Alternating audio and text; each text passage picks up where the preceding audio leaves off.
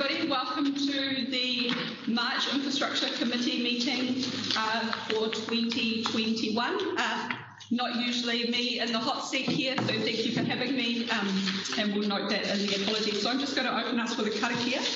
Inoi tātou.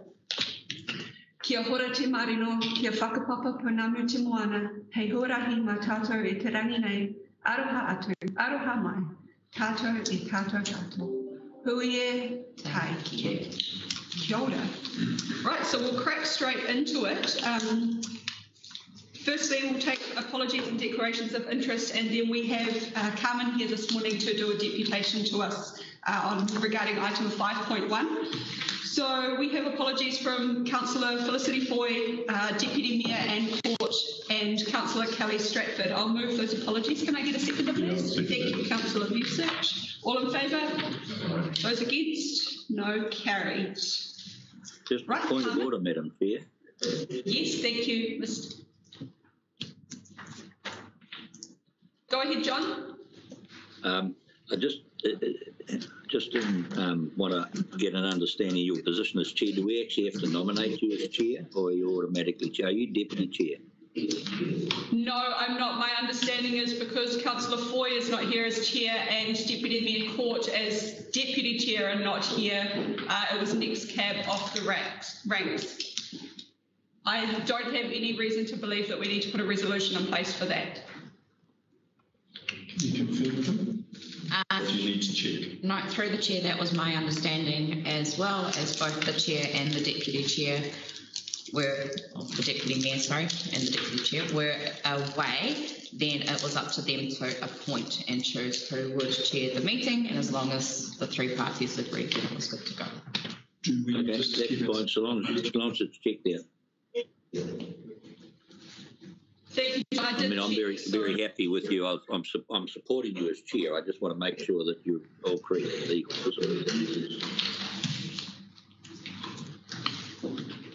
Equal. Uh, Shaun, happy to take your lead on that one if you're happy for us to proceed. I I recommend that the chair proceeds and that Jamie um, takes the lead on just confirming, because we don't want to end up with an illegality that we've got to repeat process, so let's, let's carry on. Would you carry on? Yep. Um, I've just received a message from Aisha saying it would be safer to have a resolution passed to agree Yeah, with chair. I'll I'll move I'll move Rachel as the chair. I'll second that. All in favour? All right, Mike, Don't I'm sitting here. Do I have to abstain from that? Thank you, uh, thank you, Your Worship, for taking us up on that. Thanks, Rachel. Appreciate it. Uh, carry on. Welcome, Member Williams. Thank you for joining us. Carmen, the floor is yours if you wanted to. Um, you're either you're welcome to move your seat forward or just stand up at the podium. Either way. Uh, for members of the committee, we have uh, some photos here in regards to uh, item 5.1 and the deputation Carmen is making to us today. Over to you. Thank you for being with us. Morning, everybody. Thank you for having me. Um, John, I think I've met you down at the Cumber Road gates before. Yeah, how many years ago was that now? That was a while ago. This has been going for a while. And I thought it was done. Never mind. Um, so I'm not sure if you've got this, but this is just um, a two-year snippet of um, emails that I've in the discussions. The, the emails go back seven years, but by the time I got to seven years worth at the beginning, I would have been an old woman. So um, I've started from the 6th of the 8th 2019. Um, so as you know, there's Oh, sideways. Okay. So there are a uh, quite a, a long line of gum trees along the Poo Ponds right of way, which have been over the last seven years um, falling on my boundary fences, smashing my fences. My cows get out on the road, yada yada yada. So um, I've had enough, and anyway, fast forward to 2019. Um, I managed to set up a meeting with Steve Little, who was the infrastructure manager with council at the time. He looked at the gum trees and acknowledged they were a hazard and needed to go. We also showed them the pine trees around the poo pond. The trees are fully mature and needed to be harvested. They've been planted right next to the boundary fence and as a result are popping posts out of the ground and branches are also falling on my fence and breaking the postal wires. So there's two of my boundary fences, fences are being affected, one by the gum trees, um, another one down the bottom by the pine trees. Um, he concluded the trees needed to go and the fences needed to be replaced. We explained to him that as the trees are of good quality, any money raised from the log sales could go towards offsetting the costs of felling the blue gums. We also offered to help replant natives around the pond. My husband's a forestry contractor. We can get a lot of guys in there, get the job done quick, smart. Um, so anyway, on the 5th of the 9th, 2019, I still hadn't heard back from Steve, so I emailed him. Um, on the 11th of the 9th, 19, he replied to me saying he'd been very busy. He had spoken to assets people about trees and fence, and he said an asset manager would call me. Um, I never heard from an asset manager, and I never heard anything else from Steve Little, um, which is a problem we've had over the last seven years. Is the people in charge keep leaving, so we have to start again and go through the whole explaining of everything again. On the 2nd of the 2nd, 2020, which if you look um, at, there's two sets of photos. One, you, you'll see the branch is broken off and is across the road. Um, uh, a massive branch of a heavily pine cone laden red pine tree smashed a section of my boundary fence. Um, and that's the pictures there. Yep, you can see it there. You'll have to get your head on the side, but that is that's not a whole tree. That is just one branch, and it was full of pine cones. So the weight is there we go. So you can see where it's snapped off, and it's landing across the road. And there's several other pictures that show it through my fence. There we go. Uh, this, that, that picture there on the left of the stumps on the ground, I just took that yesterday. So it happened in February last year, and those logs are still there. They're not impeding on my land or anything, but they're on my berm where I planted a whole lot of natives, so they've all been squashed. Um, yeah, you can see they're really ugly, gnarly trees. They're at the end of their life, so they really need to go before somebody, and this is my biggest concern, gets squashed in their little transfield trucks and sucker trucks and whatnot, you know. Um, okay, so after a few days, Transfield staff had cleared the right of way and normality resumed for them. I waited to see if they would repair my fence. Two weeks later, nothing had been repaired, nobody had contacted me, and I couldn't graze my paddock. I phoned my insurance company, who advised me to repair the fence and send the bill to council. They reassured me that if my animals got out due to the breakage and caused an accident, they would hold the council liable. So my husband fixed the fence. It was fortunate that no posts were smashed at that time.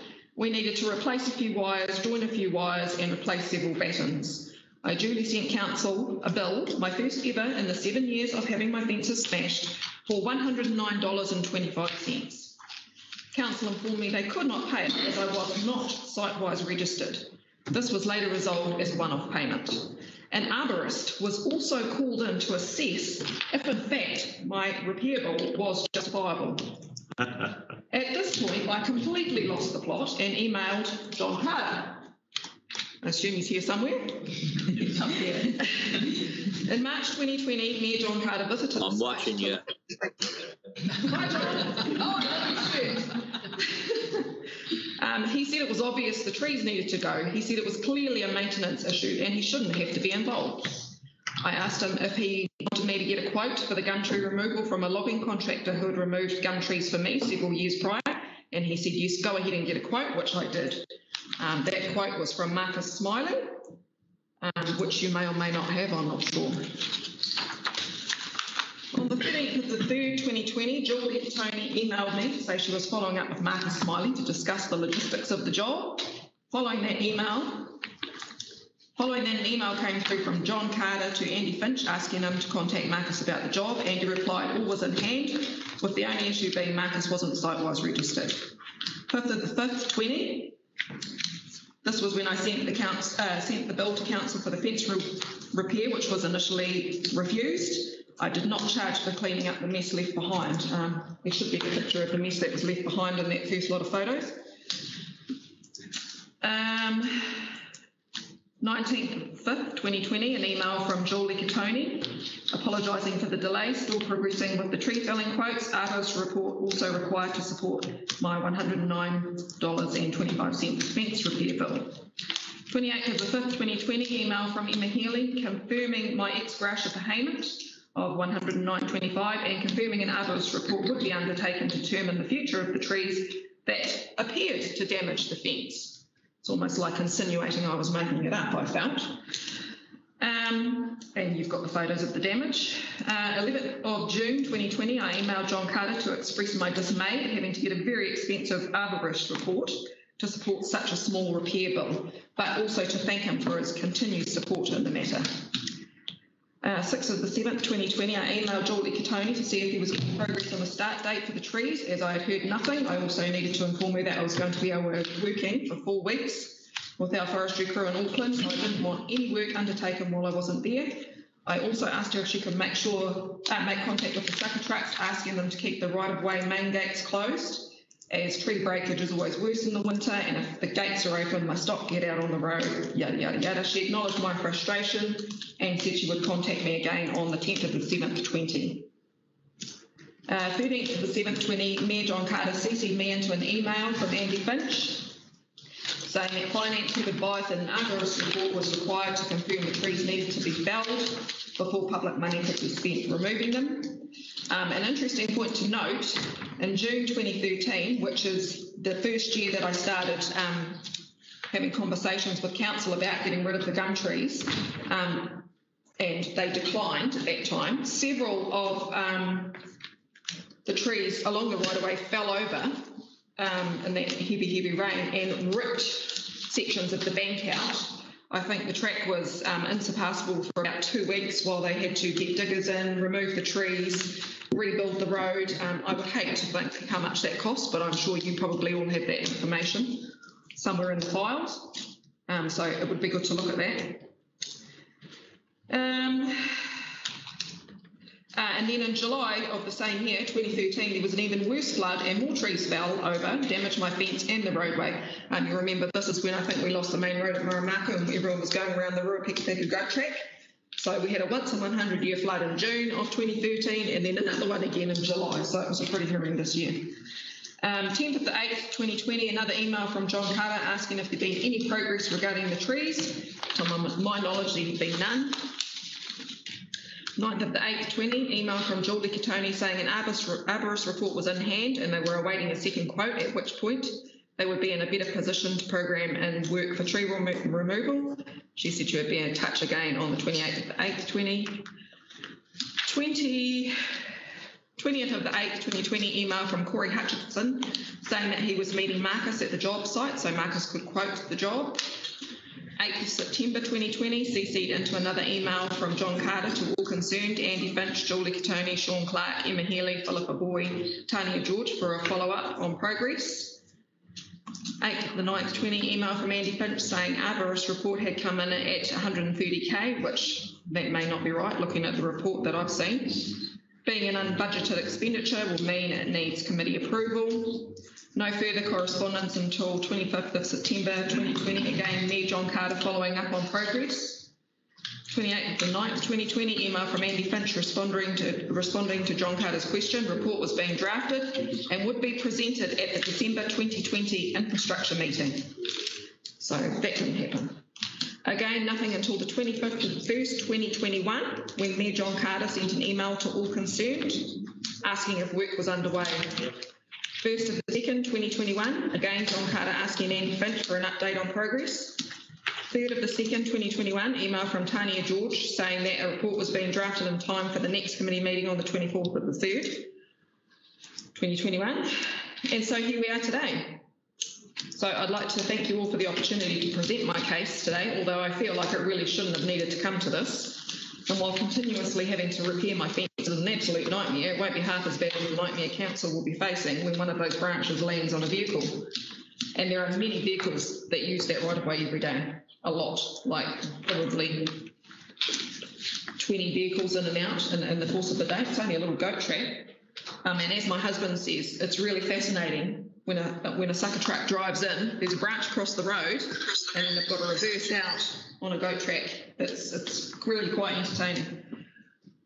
Um, there is a reason they call gum trees widow makers. They, these trees are a health and safety issue. I'd like to gratefully acknowledge John Carter uh, for his diligence and common sense approach in this matter. Common sense seems to be a deficiency in most government departments, and for him to step out of his office and take the time to actually come and look at the problem speaks volumes. Also to the lovely Julie Katoni, whom I have never met, Thank you. You have endeavoured to help me, keep me informed, and you're always lovely to speak to on the phone.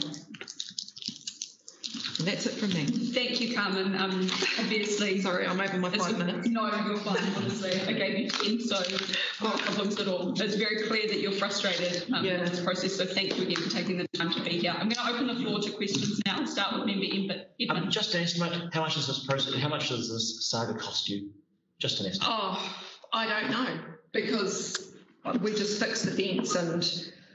Uh, I mean, you know, the worst that could have happened is my cows getting out on the road being hit or whatever. That would have been that would have been a nightmare. But I have public liability for that. Yeah. But you know, the fact of the matter is, it's, if it was my trees smashing a fence, I'd get rid of the trees.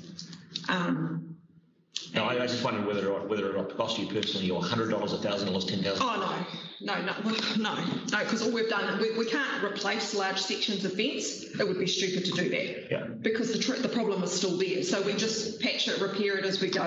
Okay. I, I don't know, I haven't put a quantifiable amount on the time that we've spent fixing fences and, yeah, so I can't. The photo, just the photos alone cost me $30 for today. Councillor Collard. I um, understand your frustration. I share your frustration Do you? because I wonder why the hell we got to listen to this. But, and I asked uh, our, our team here, why isn't something done? This, this is absolutely ridiculous. It's, it's got to be fixed.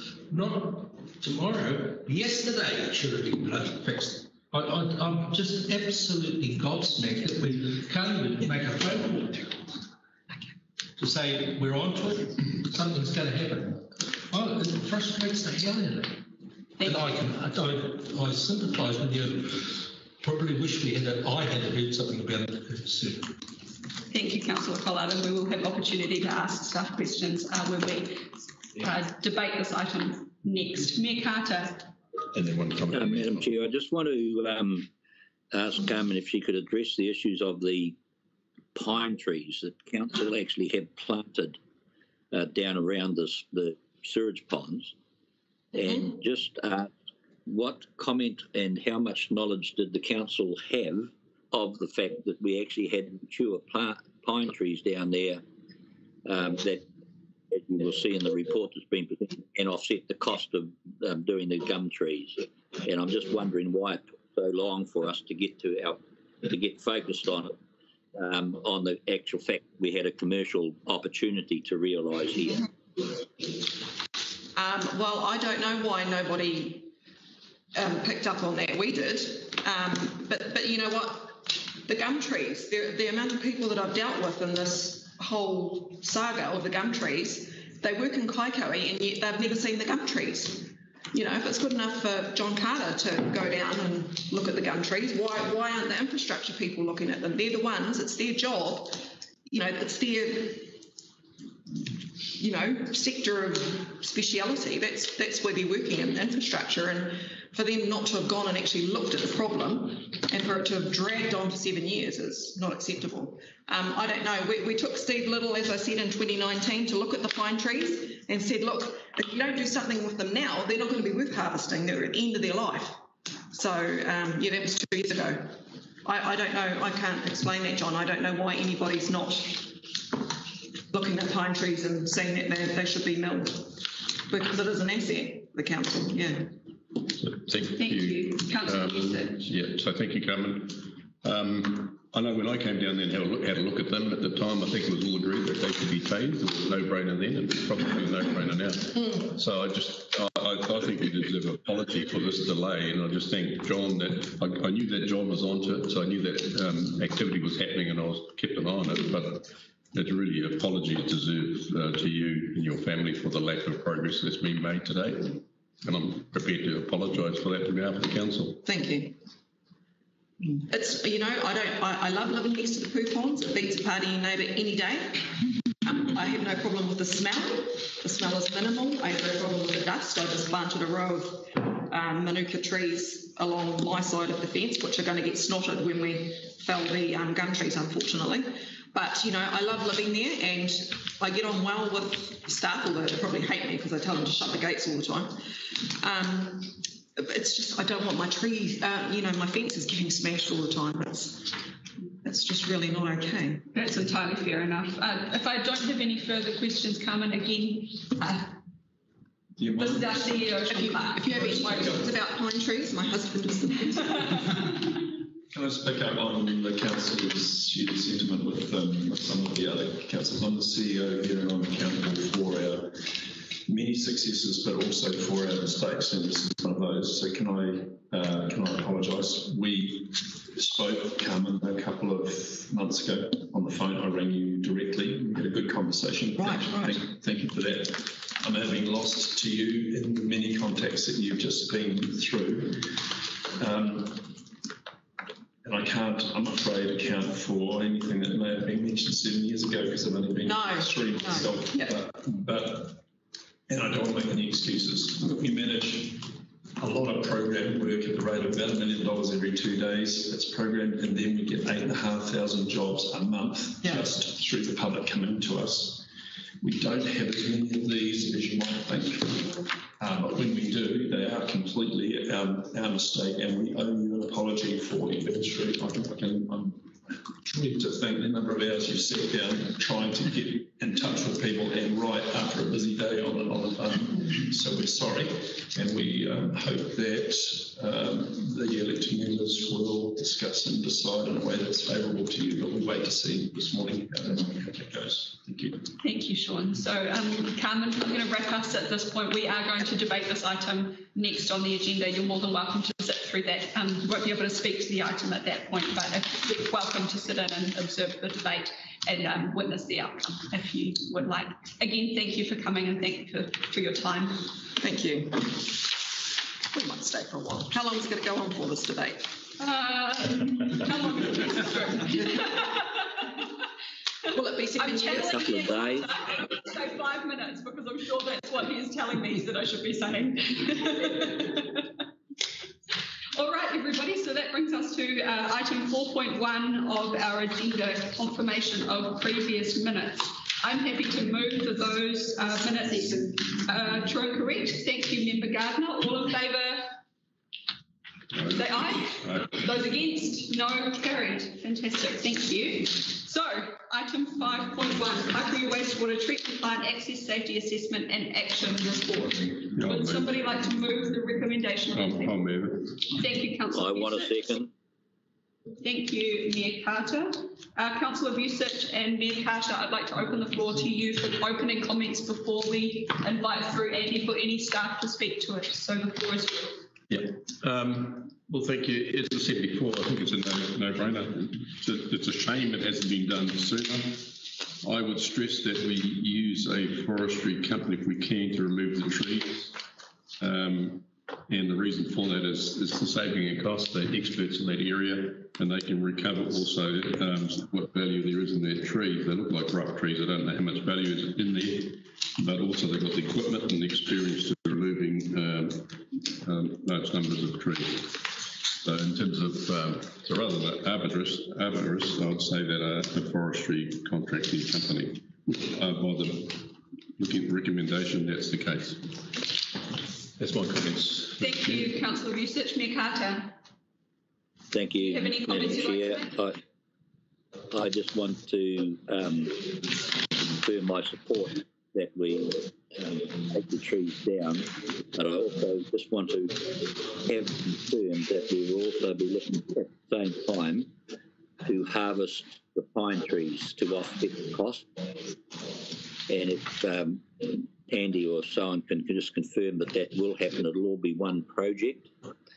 Um, and I just also um, want it noted in the minutes of our disappointment that this took so long for this to happen that the I, I, I don't know what went wrong. The time that I and Carmen had to spend to get Shaun and the operation side focused on this was significant. And I want to use it, it's a great example, Shaun, for us to use as not what to do. And so I do want a, a note in the minutes that we are concerned that this issue um, wasn't addressed correctly. Um, passed the resolution, and then I just want to note to, to record our disappointment that this took as long as it did. Thank you, Mika. Oh, one other, Um, one, I'm sorry, Madam Chair, one other thing. Interestingly, and perhaps um, Andy or the author of the report might be able to write, one of the things that was significant in the report was that this operation had to carry be carried out um, during summer. And they were writing the report when it was actually autumn. So I just make that point. I hope we can get on and get it done rapidly, please. Thank you, Mayor Carter. Ah, we can see your face now. Uh, just for the record, when you're speaking, we can only see half of your face, which is perfectly fine, but just so that you're aware. That's great, thank you. Andy, at this point, um, I'd like to invite you, through you, for any staff comments to the report before we continue the debate. Thank you, Madam I Chair. Um, apologise. I'll take my whole face away. Thank you, Madam Chair. Firstly, before I start, I would like to uh, add my apology to Carmen, um, to go alongside the Chief Executive. Clearly, um, common sense hasn't prevailed, uh, although process and systems that have been established have. And I think that's the challenge for officers that we um, are always juggling what is logical and common sense against the processes that have been established around the expenditure of public money. Um, and clearly, in this case, um, we haven't communicated and we haven't actioned over seven years as quickly as we should have done. Um, I obviously share that I've only been here three and a half, so um, I've, I've joined Shaun in, in making a partial excuse. Um, in terms of the trees, then, you know, I would remind uh, elected members that any work on uh, any capital expenditure that's unbudgeted um, has a uh, delegated financial authority for Shaun only up to 100,000. Uh, and therefore, we do need to ensure that are brought forward for any unbudgeted expenditure over 100,000. And uh, elected members will note one of the options put forward today does cross that delegated financial authority threshold. So accordingly, the time it takes to bring a report forward is always going to be challenging. Um, I'd also mention, and, and picking up Carmen's comments, that council does not have a harvesting strategy.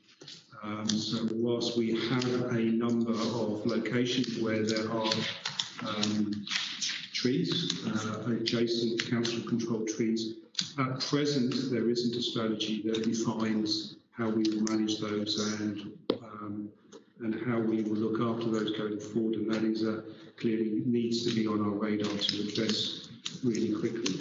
Um, alongside that, I would also note, um, and this is where the process comes in, that the trees around the, sewage treatment plant are listed um, and offsets carbon emissions through council's emission trading scheme. So um, potentially felling them and not replacing them would have a financial impact on council, which uh, uh, would be relatively significant. And I think um, alongside that, the choice of tree that is um, replanted um, does have an impact on uh, the emission trading calculation. So we need to be mindful around what gets replanted. Um, and then finally, in terms of process, I, would, would also remind the members that part of our procurement process does require all contractors to be SiteWise registered.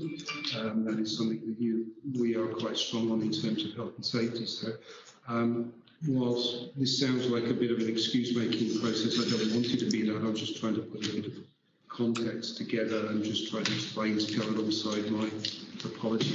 Um, I'd like just maybe just to pass across to Glenn to uh, will just speak around the detail of the report and the options. Thank you, through the chair. Um, take the report as read and just expand on a few things within it. So um, essentially, well, there was four options in the report. Essentially, there's probably three to consider. There's do nothing is not is not acceptable. There's, there's a bare minimum amount in terms of just removing those gum trees that, uh, that according to the, the auditors, uh, most hazardous, which is in the report estimated at around 50,000. Then there's the second option, which is um, which is $113,000, which is to remove all those um, those gum trees and some pine trees moving down that access way. Um, that would be um, an amount that would um, that would include the tree removal, felling and removal. It would remove, uh, uh, involve the taking down and re-establishment of fences and all that associated work that goes with it.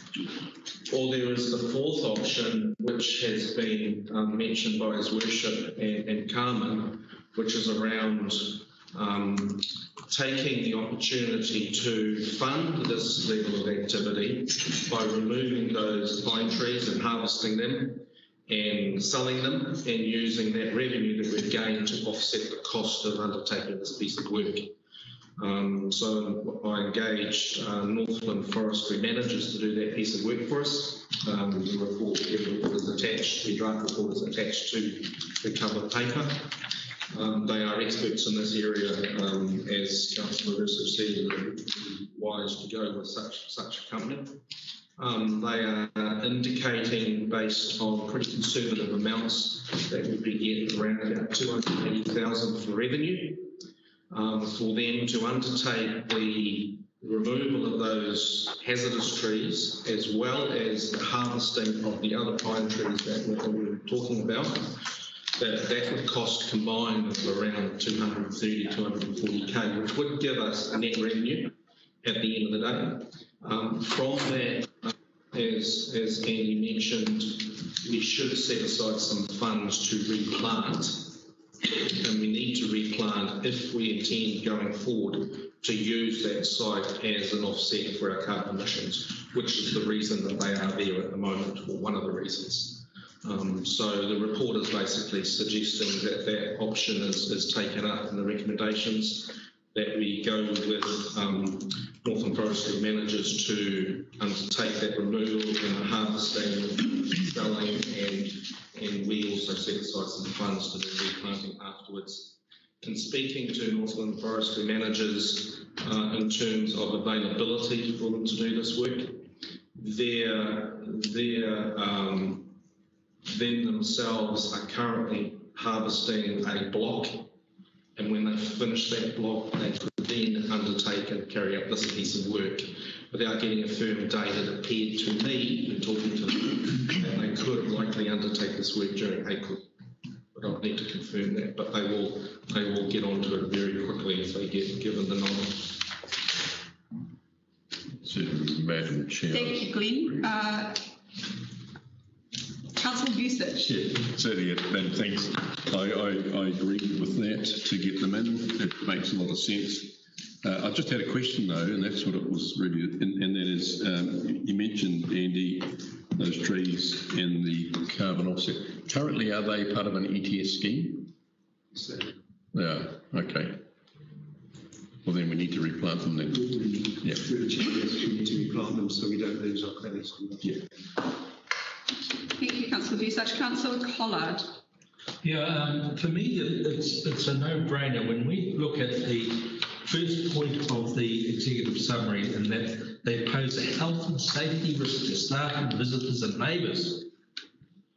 This, this is problem has been seven years in the making. If we don't do something quickly, we will be negligent because a risk has been identified here and it needs to be done now to let these poor people bloody have, have some sleep at night wondering about when the next tree's going to fall on somebody. So uh, we have a reputation for moving at glacial pace. It is critical that this is done quickly and I hope that what Glenn says that April is a a start date for it. Bring it on. It Can't come quick enough. Thank you, Councillor Cl- Collard. Member Edmonds. Okay, so I'd just like to make the comment that this, this this morning and Carmen's speech um, exposes a few of the contradictions uh, of council. And um, the first one is that the council is anyway organised. Um, secondly, the, the the whole idea of health and safety, we we use health and safety as, is usually as a, a weapon against the public. You can't clean the side of the road because health and safety. You can't do this because health and safety. You can't do that because health and safety. And here we are, seven years down the track, um, ignoring the health, the public health and safety. So, I mean, that, that- that's another contradiction, right? Um, there's also the health and safety of staff, and we, we, I mean, we say that's their highest risk, and yet we have staff going in and out of here, and we haven't done anything about it. Um, so I'm wondering why it's taken seven years again. And secondly, and thirdly, or fourthly, um, I resent that a private individual has to incur costs in bringing this to the, uh, the, the uh, attention of council. And so I'd like to amend this resolution and saying that, um, and we also approve the, the, um, the, the payment of $30 for photos to Carmen Zelinsky with immediate payment, uh, plus $70 an hour for her time for any extra time that she has to put in in, in actually getting this $30 paid. That's, that's much, that's. Thank you, Member Edmonds. So you're proposing an amendment to the resolution? Yes. Do you have a seconder for your amendment? Yeah, I'll second that, out of principle. Would you like to discuss that amendment? Oh, Any other well- members like to comment on that amendment? Well, since I made an amendment, I'll, I'll, I'll make one. I look, it's, it's pretty straightforward, right? I mean, you know, um, goodness knows how many actual hundreds or actual thousands um, that Rhonda, sorry, Carmen hasn't hasn't made note of, but she does make the point. She knows she spent thirty dollars on this this morning. That's a that's a, a done and dusted, and I don't want her to go through any more of the the rubbish that she's had to go through to get this. And I and I look, I know what she's going to go through if I don't if I don't charge or don't get her charged seventy dollars an hour for all the time that she's going to spend on it. Okay, because she'll get she'll be get put through hoops. Okay, and it just simply won't be worth her while taking the thirty dollars. So let's make it worthwhile so we have an amendment on the table. Uh, do I have any further comments to that amendment? Uh, Andy or Shaun, would you like to comment? Uh, through the chair, can we just clarify what you are, what the wording you were wanting? Well, oh, I mean, we, we pay immediately uh, $30 to Carmen Zelinsky uh, for costs incurred uh, and bring this to the attention of the council and plus $70 an hour for any extra work she has to do in collecting that $30.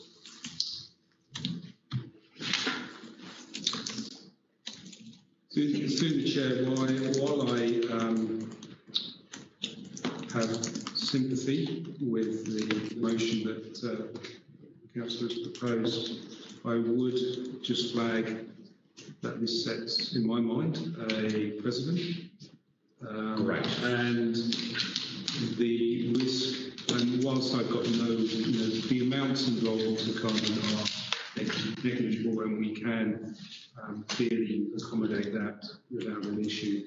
The, the risk, the president and the risk that it uh, opens up is open slather uh, in terms of any resident or any constituent that feels that it hasn't, they haven't had a response in a timely fashion, um, will have the opportunity to use this as an, uh, a way to claim costs from council. Madam Chair, I'd like to point of order here. I don't intend to be, to be debating the staff. Sorry, Member Edmonds, I asked for staff advice on this amendment. You did it So not this time. You just came in and gave it. No, I invited Andy Finch to speak. Thank you.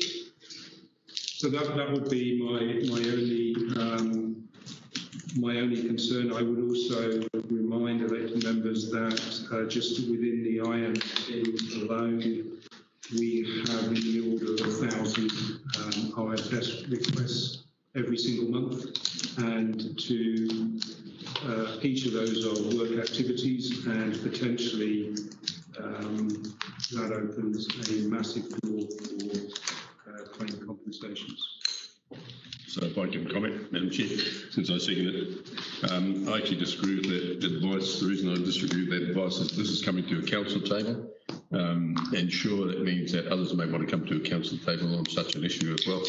It doesn't guarantee anything that's actually happening there. Um, it may create a bit of extra work. People think they can come to the council table and demand some of the other things, but given the circumstances were very unusual, seven years of what should have actually happened a long time ago, with all of the health and safety risks, with all of the time and effort that, that Carmen has put into fixing a fence and the non-response, um, I agree with Councillor Edmonds. This is a matter of principle. Member and I- Edmonds, thank you. Min- Min- Min- Edmonds, and this is a matter of principle, and I'd like to actually um, just uh, support it. And that's what. That, so let's put it to the vote.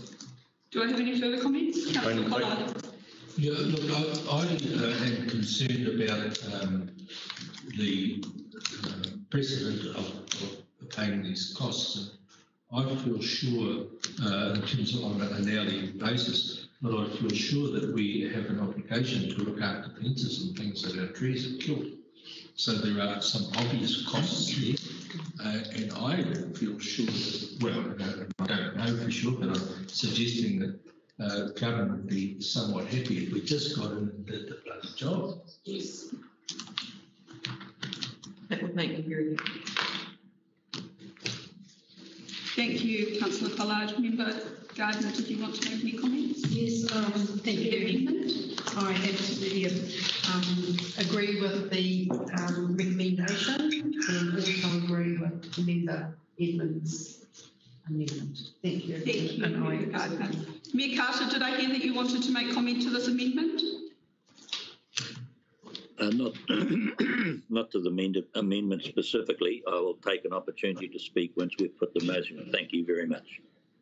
Thank you, Mayor Carter. Um, I would to speak against the amendment. While I appreciate the sentiment behind it, I agree with Councillor Collard and perhaps there may need to be a process in which we look at compensating on the expenses in terms of the fence repairs and things, but I don't feel comfortable with the amendment that Member Edmonds has put up. However, I respect that as a member he has the ability to do that. So at that point, I will put the amendment No, sorry, I'd like my closing comments, please. Uh, absolutely. Okay, um, look, I mean, uh, uh, yes, sure, there's precedents everywhere, but we're also setting a precedent um, for the organisation itself is that we don't have to deal with these things because there's no consequence to the organisation and, and the consequences of the public be damned. So that's the precedent that I'm trying to set here, that no, the, public, the consequences of the public not be damned. Uh, so that's my only comment.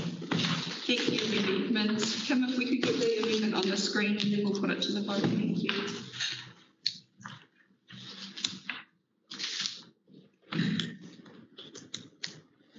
Member Edmonds, are you happy with that wording?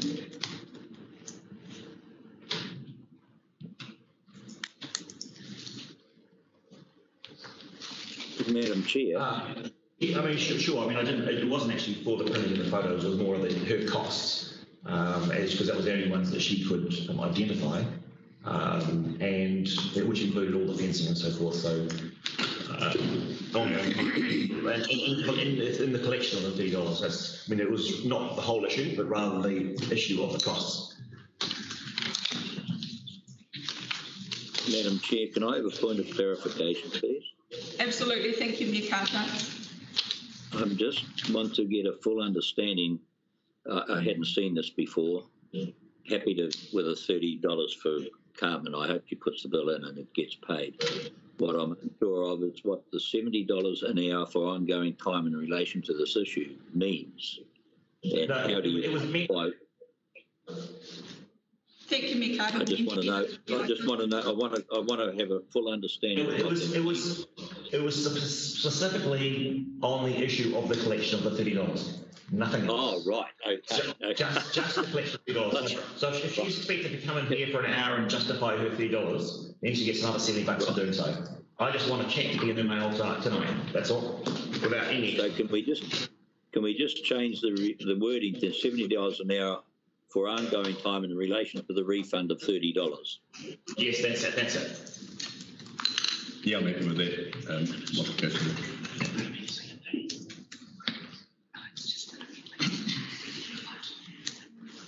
Has anyone got thirty dollars cash that they can give Carmen? I'm sure Shaun's got one. Don't tempt me, Mayor Carter. Don't tempt me. I have receipts.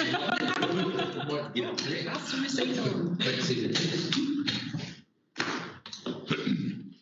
Thank you. So on that note, Member Edmonds, if you are happy with the amendment, That's it. Yep. I will put it to the vote. All in favour of Amendment A? All right. Change. Aye. Mayor Carter? Yes, I'm in favour.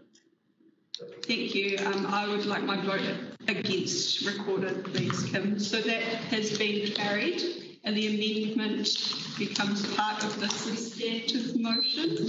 Please excuse my terminology here. I'm not great with. Just keep timesheets coming. Just keep timesheets.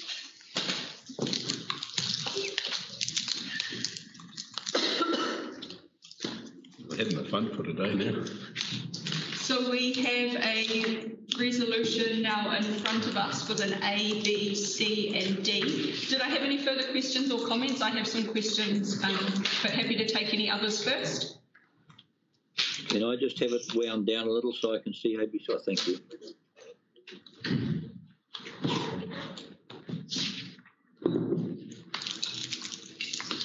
Mayor Carter, if you're happy, I'll jump in at this point with my questions. Uh, so Andy, I just had a couple of questions um, around in options one, two and three, it really clearly was uh, and how the risk would be mitigated by undertaking those options. I wasn't clear of how much of that risk we were mitigating by going with option four, noting that it is only some of the trees. What I don't want to um, have happen is that in two years' time, we still have risk sitting there because we didn't address it this time. So I'm just a little bit unclear on that and would like a bit of clarity. Um, I'm really keen to make sure we eliminate all of that risk as outlined in option three, but I know that there are some differences between those options.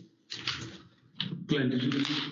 Through the chair, yes, option four, although a different provider do undertaking the work, is essentially option three plus the harvesting of pine trees and lumber. Okay, that's great. So it's all, Yes.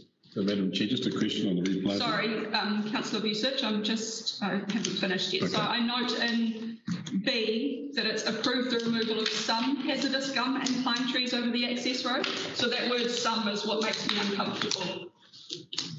That, that was option two. Yeah. So that's uh, in in the recommendation of the report. Um, Point B of the recommendation. let me go the reader. It shouldn't be. Option four. Option B. All hazardous gum. Right. But it also says as outlined in option four. So it's B of the resolution. So we're Part B of the undertaking to resolution, part B of the resolution That's right. is the removal of some hazardous gum, yes, yep. So the word some makes me uncomfortable, um, and perhaps at the blessing of the mover and seconder, I would like to see that that word some be replaced with all Yeah, I'd agree with that, Madam Chair, if that's amendment. To ensure that we're eliminating all of that risk in this process. That's great, thank you. Mayor Carter, are you happy with that? Yep, that's fine by me. Great, thank you. Uh, my other two questions were more around the learnings from this and going forward. So the first one is I know that this isn't the only hazardous tree health and safety situation we're facing in our district at the moment in terms of budget and things. So I'm a little bit concerned that we don't have enough allocated budget. Is it a budget issue or a delegation issue as to how we can't address this risk when it arises? Our policy very clearly says when there's a health and safety risk that we address that. So noting that we are in an LTP um, at the moment, do we not currently have allocated budget to be addressing our health and safety issues across the district? Through, through the chair, um, so I'm trying to desperately um, hark back in my memory, but I do recall that as we approached the LTP or the preparation of the LTP for this time round, we put a number of operational budget pressures to elected members. Um, one of those included an enhanced budget for tree management and maintenance, which was at the time focused around the Kerry Road redwoods, but would be expanded to um, to the whole of the area. Um, I understand elected members did not want to support that at that time, um, and therefore there is still a um, very small budget for tree maintenance across the whole of the district. It's a great response. Thank you, Andy. So just highlighting, highlighting to members that we are yet to deliberate on the LTP, so please keep that in mind. Uh, the last point I had was picking up on, again, the reserves policy, uh, section two, around the management of trees on public land. Um, I think that this is probably a question for me to be taking to the strategy committee. However, I wanted to uh, get the the blessing, I guess, of the infrastructure committee is really looking at how the policy didn't work in this situation. We have a policy from 2017. It very clearly says the process. It very clearly has not worked, and I'm really keen to learn why that is. And also picking up on the note that you made about the harvesting strategy, Andy. I know that our reserves work stream will be increasing uh, over coming months, so that's really a really good note to pick up as part of that work stream. Uh, those are my questions. Thank you. Do I have any further questions or comments, or are we ready to put to the vote? No, questions. Yeah, thanks, Madam Chair. Good points you raised. Um, not exactly on topic, but I think there are things that fall out of this. But my question relates to point C, and that is the cost of replanting. I take it that's that forest, so we're not talking about replanting necessarily along this line and therefore creating a future hazard for ourselves. That's, that's the, the forest. Through, through the chair, uh, my understanding of Glenn to confirm is that the replanting would be um, the replanting of trees that we currently use in our accounting for emission trading schemes. So that's back around, yeah. So, yeah. So it's not creating a future hazard in the sense that about access. That's correct. Knowledge, knowledge. Yep, thank you. Happy with that, Councillor Vujcich? Mayor Carter, I'm aware that you raised um, the point of timeframes, and we have been cracking in our DMPs with resolution. Um, and I'm aware that Glenn made the comment around the ambitious hope that we will undertake this in April. I'm happy to take your guidance, but I think it is important that we capture some kind of expectation from a governance point of view on this resolution. So whether that's this work be undertaken before winter, acknowledging the points that are in the report. Happy for any comments on that, um, Andy. Otherwise, Mayor Carter, if you wanted to put that amendment in. Well, I, I don't mind whether it's an amendment, Madam Chair, but I do want to um, have a, every um, infrastructure committee. In fact, what I would like to have the staff go away and do now is present us elected members with a timetable of when their expectations is that the trees will be milled, harvested, call it what you like, taken down, um, so that there is a definite timetable that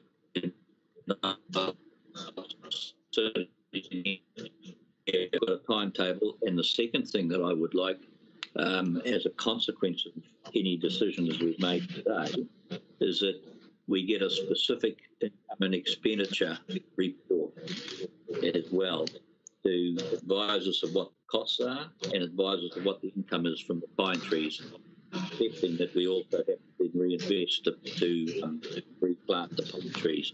So I'd like those two things. I don't know they need to be a resolution, uh, but I would like them to be actually noted in the minutes that we're expecting a timetable to be given to us reasonably quickly, like within the fortnight.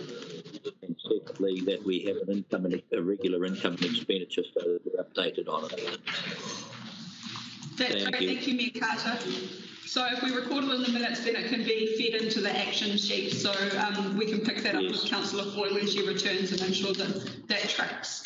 Um, Andy, are you happy with that? Through the chair, I'm, I'm happy and, and subject to um, your resolution today, we will get Glenn to contact the uh, Northern Forest managers um, to get the project going immediately after this, this meeting, and then we can firm up on time timings and, and obviously that comes.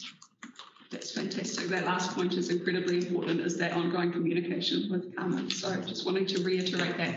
So at that point, I'm aware that we've had a very robust debate on this one. I'm happy to put it to the vote if we could get the resolution on screen. Mayor Carter, did you have any final comments? I, I just want also to please just reiterate that I would expect a income and expenditure report regularly, like, you know, every, just to let us know where we're up to from a financial perspective. If, perhaps if you want to take that conversation offline with uh, Chair Felicity Foy um, to progress what that might look like, that would be great. Could we just have a note? Committee has provided a timetable, and they report back on the final cost. That'll do. Good. Thank you.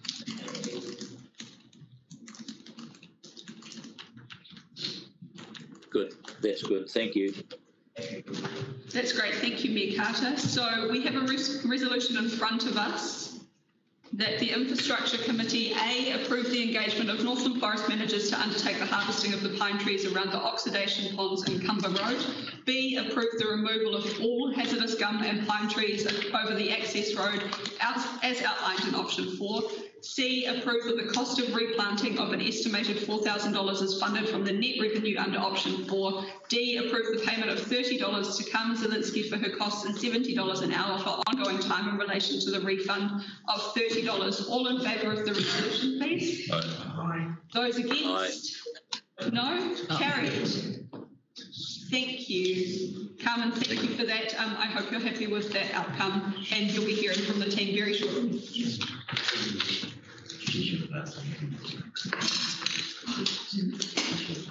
Carmen, I've also just had confirmation from our CEO that the payment in accordance with that resolution has been, been made to you. Okay. Um, I'm probably going to donate it to the Kaikohe Probus Club.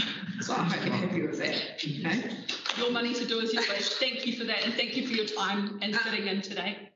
Are we allowed two minutes of just referring to, um, John's wants to say a few things regarding um, how he can help um, in terms of when the logging happens and stuff like that? It may be more appropriate. We do need to crack on with the agenda, unfortunately. Through the chair, would you call me uh, coming after the meeting? Or Yeah. We'll call you and, and, and before the end of the day, Yeah. pick up whatever you've got for listening. Yep, yep, um, because what we're proposing will probably save the council a lot of money. That's fantastic. Thank you for that. Yeah, Shaun will be in touch later today. Brilliant, thank you, Shaun. Again, thank you for your time. Enjoy the rest of your day. Thanks, Carmen. All right, so that brings us to item 5.2 of the agenda, Hihi Wastewater Treatment Plant Capital Works Business Case. We have a recommendation on, do I have a mover for that recommendation, please? To get it on the table for discussion? Yeah, I'm happy to move. Councillor I'll Vujcich, move. thank you. I'll Uh, move. Mayor Carter, you can second. Thank you for that. Thank you. Councillor Vujcich or Mayor Carter, would you like to make any opening comments before I invite Andy? I'll make Car- make Carmen go first. Mayor Carter? No, I, I just think we need to proceed with it. I'm very happy with how's the direction. Great, thank you. So my comments then, um, I just had a question really. Um, I'm happy to see the membrane bioreactor MBR system. I did ask for that many years ago with the Kerikeri sewage and it was uh, poo-pooed. Um, but I just wanted to know, excuse the pun, what the least um, methane emission uh, options are. So the MBR as opposed to the uh, activated sludge. Thank you, Councillor Vujcich. At that point, I'll invite Andy to speak. I, through the chair, I was just looking at my um, technical expert in the corner, and we've just recalled that question. Can we come back to you offline um, after the meeting? Okay. Uh, Was there anybody who wanted to speak to this report? Are you happy to just make a question? Yeah, hi. Can you email me that, um, uh, Mayor the Carter, can agenda you- from, that we're talking on there because I can't pick it up on the phone. Hang on. I, I, I have one other question as well, Madam Chair. And that is cubic metres per day that we expected to be, uh, with this plant, I didn't see it at the moment, that, that that will be handling. And is it, is it therefore, um, taking into account the likelihood of growth? Through the chair, Councillor Mark. Uh, yeah, through the chair, so uh, two litres a second, which works out to around 374, sorry, uh, four litres a second, which works out to around 374 tubes a day. During rain events, they could get up to eight litres a second. And, and given the projected growth in that area, that, is that going to be, That was included in, uh, so that, for how, for how long is it going to cover the growth?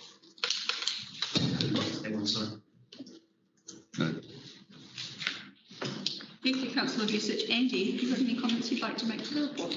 Yeah, through the chair. Um, this is probably the first detailed business case we've been through the Structure Committee, and uh, at this point we're just seeking your views on what is being proposed and seeking your guidance that we move to preparing detailed business case, and um, that is uh, that is significant because as we move from indicative business case to detailed business case, the amount of cost and the amount of uh, effort to move the project forward uh, increases substantially. And you'll see as part of the resolution, um, we're asking you to note that the potential cost to ratepayers is not insignificant. Um, and accordingly, uh, it's really just a, a heads up for elected members that when we finally bring a paper forward to award contracts, um, those costs and the impact upon rates will become real for residents. So it's really, this paper is one of a number that we will start bringing forward for Three Waters. Um, we know that there is a backlog of investment. Um, this is you know, one of the early ones, and it's really just a heads up for elected members that these costs are coming through the pipeline and will impact upon rates. Thank you. So, Thank you, Andy. Uh, Mayor Carter, did you have a Uh, question? thank, thank you, Rachel. Yes, well, not so much a question. I just, uh, Shaun and I spoke briefly about this uh, yesterday. The announcement that the government made on the issue of infrastructure um, is uh, just another factor that we will now need to take into account as we develop this project. Um, if we can also combine it with the housing opportunities, um, it may well be that we can get more support from government funding. But I, I'm not. I just just note that that's all. It's just a factor we'll have to take into account as we move forward with it. Thank you. Councillor Research, did you have another question? yeah, just, uh, just given that, so I understand a bit more now why those questions couldn't be answered, but again, looking at a detailed business case, I'd like to actually see one being covered, the cost and affordability, um, that we are doing the consultation with the public, that we are taking into account the growth, so it looks like, like to see some projected growth, uh, uh, there. Plus, uh, as, as, as the mayor pointed out, some, uh, potential subsidies for external funding options and, uh, give consideration to also the, um, climate change being noted as our largest risk. And we, we did notify that, that there's methane emissions and looking at therefore the changes to our plant and the way we recover some of that. So all that detail in the report. I can actually send it to you later if you want. I'm pretty sure you heard what I said. Thank you, Councillor Vujcich. Did I have any further questions from? Andy, I just had a question uh, on page 47, picking up on what Councillor Vujcich has said. Uh, it indicates both of these options would have challenges, particularly in relation to climate change and sea level rise. Staff have not undertaken any diligence in this, these options. Um, I get a little bit concerned with that when I hear that we're talking about a coastal community. We've just had our coastal hazard mapping uh, workshops with NRC. We know that what we're facing now is just going to continue to be um, increasing those challenges. So my questions are really around when that diligence work will occur, um, what touch points we will have on that, and I understand that it's probably in that next stage of business case reporting, and then project scoping going forward, at what point are we endeavouring to consider climate change risks in that? Um, from my point of view, I would prefer to see it in the earlier stages as opposed to the progressive business case stages, but happy to have some comment on that.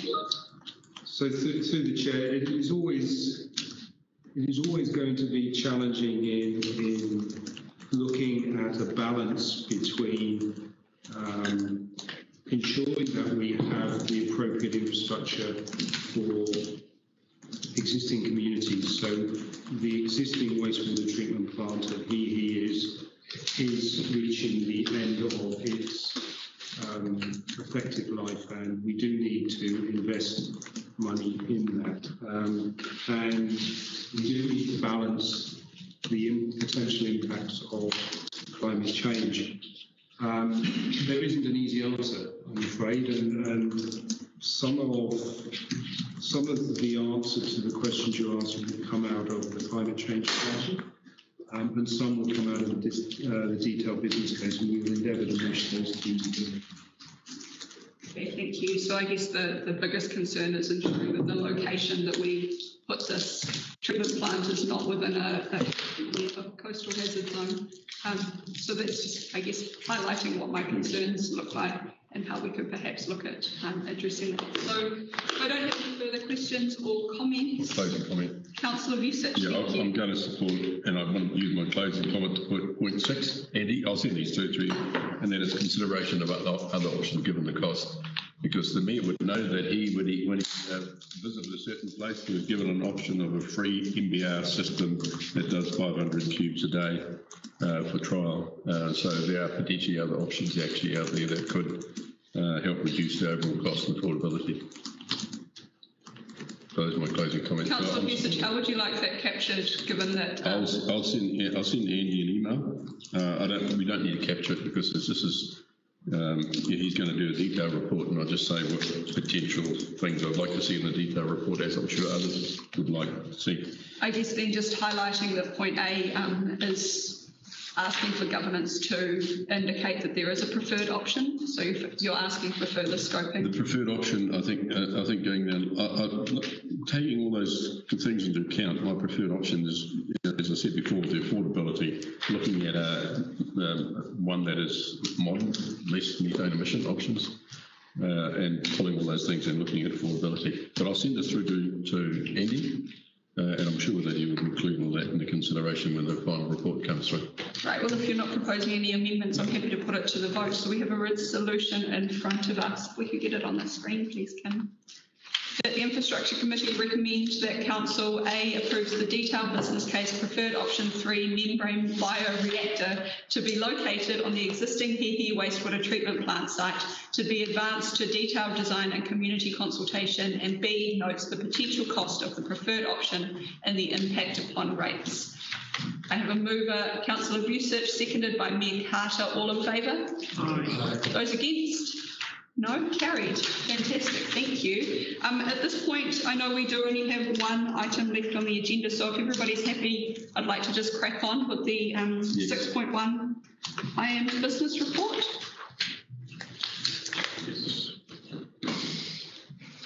I'm happy to move that the Infrastructure Committee receive the report Infrastructure and Asset Management business, Monthly Business Report for January 2021. Do I have a seconder, please? I guess it's me. Councillor Vujcich, thank you for your commitment. The resolution is on the table. Andy, did you want to speak to your report at all? Um, I would like just uh, to say a, a, a few words, and um, you probably heard me before comment that when I first arrived at council, the, um, the celebration of what I am achieved, uh, to elected members was probably no more than one paragraph every month which was a poor reflection of the volume of work that uh, IAMS uh, undertake every single month. From that humble start, um, we've built a report that I think has grown month on month to some 170 pages of information. And whilst there is a, a, good lot of detail in there that is available to the public on, on the website, um, council website, I am beginning to hear the um, some concerns around the accessibility and the volume of information. So uh, whilst we continue to publish a very large report that tries to cover off everything that's happening across in infrastructure terms across the farm. we are looking at uh, how we might condense the information in there into a more um, accessible and consumable format. Um, and the target is trying to get it under 50 pages. Um, so that's something to look forward to going forward. But in the meantime, we will continue to um, publish large reports um, just to give you the flavour of uh, everything that's, that's happening. That's great, Andy, and I have to admit that when I read this month's, I got a feel that the format is becoming more and more effective as you're getting a feel for what this report looks like. So I was finding it really easy to find information. Um, as the mover, I might open with some of my questions if everybody is happy with that. So page 59, uh, the graphs on page 59 and 60 indicate that we're tracking below forecast currently in five out of six activities. So I'm just looking for a little bit of governance comfort that we um, have plans in place to meet those forecasts by the end of the year and what that looks like. So through the chair, at the moment, um, we are tracking behind capital expenditure um, for year end. We're, we're still uh, aligned to meet the overall uh, KPI target for capital expenditure. Um, we are looking at uh, how we can accelerate programs, and we will be bringing a we continue to bring reports to both roading and three waters portfolio meetings around uh, what projects are at risk, uh, but we will bring a future report through to infrastructure committee with a bit more detail on that. That's great, thank you. Uh, my next question, page 77, I was just hoping if we could get a quick update on Sweetwater if possible. Uh, through the chair, there was a project uh, control group meeting this morning, um, and uh, just uh, to highlight where we are at is there is a second hearing, uh, a second meeting with the judge regarding the uh, appeal on the Albany Holding Land on the 26th of March, which is Friday. Following that, we will get further direction around the hearing date. That is looking um, when we will get final, we're anticipating the final decision on access to the Albany Holdings land. In terms of the main pipeline contract, then today we had um, steer from the project steering group that for Shaun to be able to sign the uh, main contract for the delivery of the pipeline work. Um, and that is in accordance with the previous council resolution. Um, the caveat I put on that is we are proposing splitting the contract into two stages. The, uh, the first stage being the work on the Albany holding land, which we can't, uh, we can't progress at the moment. And the second stage is for the rest of the pipeline work in connection to the wastewater treat, uh, water treatment plant. Um, at the moment, we are still looking for uh, for access to a secondary water source for Kaitaia ready for next summer. Okay, that's great, thank you. Uh, two more questions and then I'll send the rest through by email. So page 93, um, the same question that I've been asking every committee meeting, sludge strategy has red lights all over it. What's happening with our sludge strategy? Just looking at my team, they've got their heads down. Can I, um, I think uh, the best way forward for the sludge strategy uh, is for us to um, prepare a update for this committee so that we can give you a bit more detail around it. That's. Um, Sorry, can I- asset manager is also Yeah, we are actually planning that update. That's actually in progress at the moment for the, that for the next infrastructure committee. We've just had um, a couple of resources not available for a period of time, so we've just been trying to commit to that date. But that's the plan, is that it will be at the next infrastructure committee. Fantastic, thank you. Exactly what I wanted to hear. Last question, page 96. Um, there's a note about a growth and infrastructure demand forecasting. In the consultation that I've been part of in the last two and a half weeks around the district plan, a lot of what I'm hearing is um, population data being challenged, the population data that we as a council use, uh, and suggestions as to how various community members feel that we could improve that. So I was just, it's really a question as to what that demand forecasting looks like and what, the- where the oversight of that sits. Um, I'm keen to have a look at what that looks like if possible.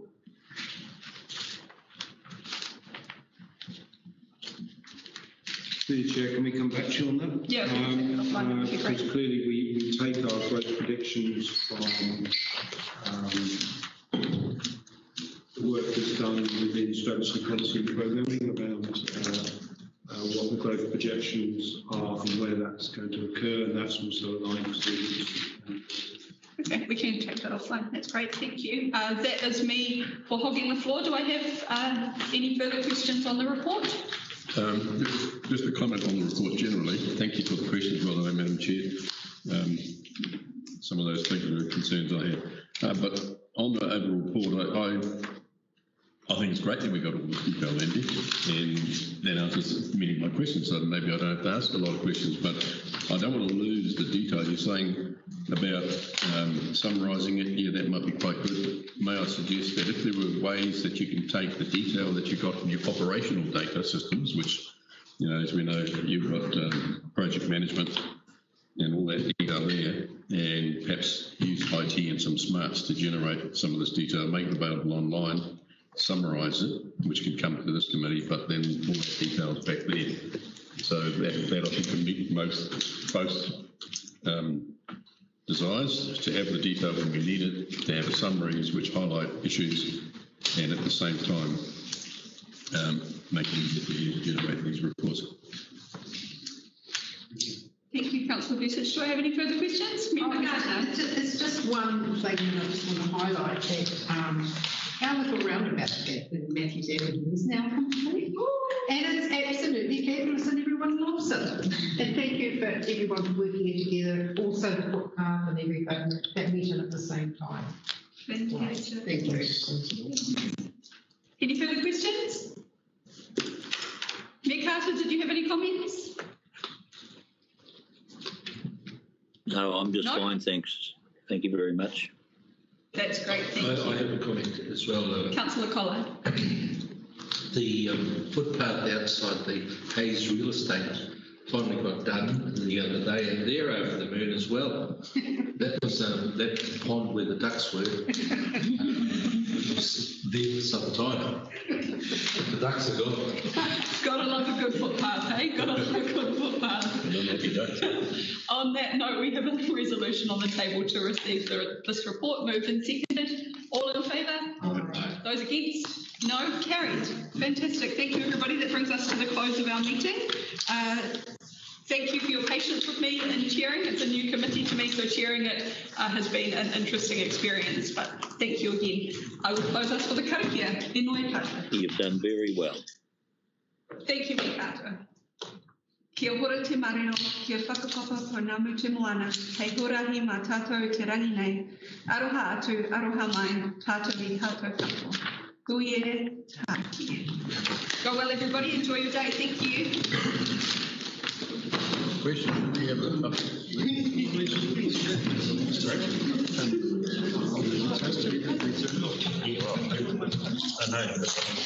you. Thank you, John.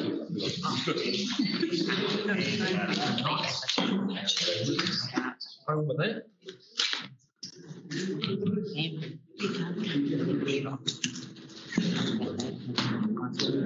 that.